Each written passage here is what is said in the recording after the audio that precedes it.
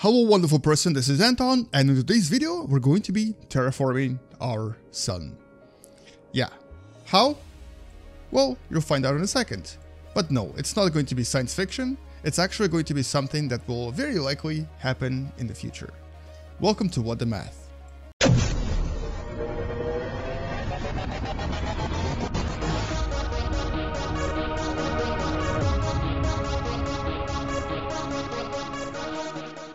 Alright, alright, alright. So how exactly are we going to terraform something that has a nuclear reactor on the inside, is producing tremendous amounts of energy, and is practically the heaviest and also the most energetic object in our solar system?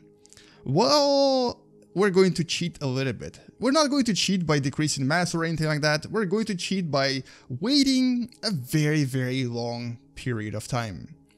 As a matter of fact, we're going to start by waiting approximately 5 billion years. The year is now 5 billion AD. The Sun? The Sun has now become a tiny remnant of itself. It is now what's known as a white dwarf. Its radius is just a little bit bigger than the radius of Earth. Its mass is approximately uh, 0.54 masses of the Sun. And if it's not, we're going to correct it to that. Yeah, it's about it's about correct. And so this is now the white dwarf sun. The white dwarf sun is basically uh, going to be what our sun will be like for pretty much most of its life in the future. And it's going to stay in this form for billions, if not trillions of years. We've actually discovered quite a lot of white dwarfs already. The most famous one being Sirius B, which actually is right here. It's a lot more uh, massive than our sun. It's actually um, dramatically more massive. It's about twice the size of this uh, sun white dwarf. Uh, but it seems a lot smaller, and that's probably because it's a lot more dense. Um, we've also discovered quite a lot of other ones uh, as small as about 0.17 uh, masses of the sun, which would be this small, or as large as 1.33 masses of the sun, which would be, would be even smaller. And as you can see, they actually decrease in size with mass. If you add a little bit more mass, they'll actually go supernova because they'll reach something known as Chandrasekhar limit. And this limit is supposed to happen right about now. It's not working for some reason. So we might just have to do it manually by essentially exploding the sun. So yeah, if it reaches approximately uh, 1.4-ish masses of the sun as a white dwarf, it will go supernova and this is known as a type 1a supernova. Anyway, let's go back to the original system and take a look at the white dwarf, the sun once again. So, um, what we know about white dwarfs is that basically they have no nuclear reaction on the inside. They're just sort of very, very hot bodies that will cool down over time. They start really, really hot, as a matter of fact, uh, and they're extremely dense and because they're so dense the um, molecules and the electrons on the inside are highly compacted so they retain quite a lot of heat and they're extremely dense as well. They're basically like the third densest objects in the universe after neutron stars and uh, black holes or at least the black hole singularity not the black holes themselves and uh, here, the, the initial surface temperature would be close to about 150,000 degrees, and it would cool down pretty quickly to about 60,000, and would then start cooling down um, quite uh, a lot slower, and it would actually only lose maybe about 500 degrees per um, 1 billion years. So every single billion year, it will only lose. Oh, okay, it doesn't seem to work here. It will only lose about 500 degrees, making it now um, 59,000 degrees Kelvin. So it, will basically cool down very, very slowly. And uh, even though it will not be as luminous as the sun used to be, it will still be pretty bright and will even have a bit of um, habitable zone around it, about which I've talked about in a previous video.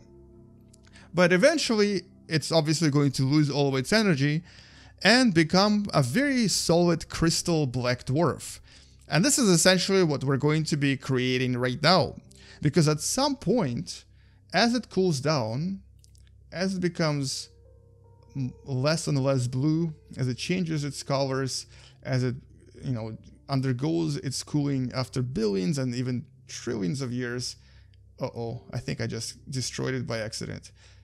This is not what I wanted. Come back to the original size. Okay, it seems to be changing in size for some reason, but I locked its mass so that it wouldn't change the mass. Uh, so yeah, at some point, it's going to basically start looking more like a tiny sun used to look. It's going to become a little bit more yellow. And uh, it's going to reach a temperature that's, you know, relatively similar to the temperature on the surface of the sun, which is about 5000 degrees Kelvin. Now, the coldest white dwarf we've discovered so far is approximately 3900 degrees Kelvin. It's about this cold. This is a black dwarf known as WD0346246. It's located in our galaxy, and um, it's the coldest we've discovered. We also discovered some white dwarfs that are about 90% crystallized already. They're not plasma anymore, they're not degenerative matter, they're actually crystal. And this is what will happen to all of the um, white dwarfs. They'll cool down and turn into large crystal objects. They'll essentially be tremendously large crystals, and depending on what they're made of, they might even become basically very dense diamonds. Now we're going to be cooling this down even more. And um, what you need to know about these objects is that they also have their own atmosphere. Uh, they're dense, they're really, really dense, but the atmosphere here can be uh, quite varied, quite uh, dramatically different from what we expect from a star atmosphere or from what um, from a planet atmosphere. So here, atmosphere can actually be very likely hydrogen, but it can also be made out of carbon, it can be made out of helium, or maybe even oxygen. If a star contains a lot of oxygen around it, it might actually have a thick oxygen-based um, atmosphere. So here is the black dwarf now. It's no longer emitting any light, but it's still very hot. The surface here is pretty hot. We're going to lower the surface temperature to something more comfortable. We're going to make it basically uh, an average temperature on Earth, which is about 15 degrees Celsius. And this will happen very likely trillions and trillions of years in the future. Now, obviously, we're not going to be waiting for this to happen. We're not going to possibly even survive that long, but it will definitely happen. And at this point, this is actually an object that you could technically call terraformable. Okay, well, not really. You could definitely have liquid water here. It's very possible that it will have atmosphere and it will even maybe have some sort of liquids on the surface, but because the gravity here is so extremely high, no person would be able to survive here. And there's nothing you can do about it unless we invent some sort of anti-gravity device. The actual surface gravity here is 7,400 times higher than gravity on Earth. Escape velocity is 2200 kilometers per second. Basically, this is not a very fun place to walk on. But it's a huge crystal, it's warm, it may have some sort of strange liquids on it, and it may have other conditions that are similar to our planet Earth. Except, of course, for the gravity. Gravity we, we just can't really do anything about. So, this essentially can now be renamed into Terraformed Sun. Everything here would be perfect. And actually, let's maybe just add a little bit of water just to see what happens. I don't think anything changes here. Yeah, water doesn't affect anything. Uh, but yeah, so this is essentially a sun that is a large terraformed crystal that you could hypothetically maybe survive on for a few seconds, but then the gravity would kill you. The gravity would basically squeeze you into a tiny pancake and you would probably break all of your bones in like a second. Nevertheless, this is, I guess, terraformed sun. It's a sun that you could survive on if you're like a robot or something. But other than that, that's all I wanted to do in this video.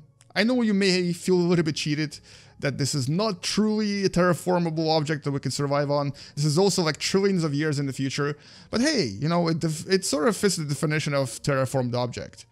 And gravity, well, you know, gravity is just not something that is often mentioned when you talk about terraforming. Anyway, hopefully you learned something from this video and hopefully now you know how we can potentially in the future terraform stars as well. They'll basically terraform themselves, is what I'm trying to say. We don't have to do anything. I'll see you guys tomorrow. Come back tomorrow to learn something else. Subscribe if you still haven't, and share this video with someone who enjoys watching space stuff and wants to learn through video games.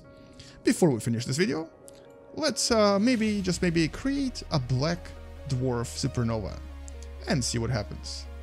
I'll see you guys tomorrow. Space out, and as always, bye bye. Hey, it looks just like a normal supernova. Well, now I feel kinda cheated too. But so beautiful though. This is so beautiful.